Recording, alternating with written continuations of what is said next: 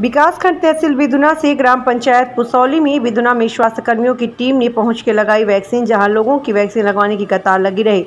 ग्राम पंचायत पुसौली वासियों ने शांतिपूर्ण तरीके से वैक्सीन लगवाई और डॉक्टर अश्विनी यादव, सीला ANM very farmer, Shanti anganwadi Neeraj समूह, शक्ति कुष्मा आशा स्वास्थ्यकर्मियों ने अपनी ड्यूटी से अधिक समय लगा दिया।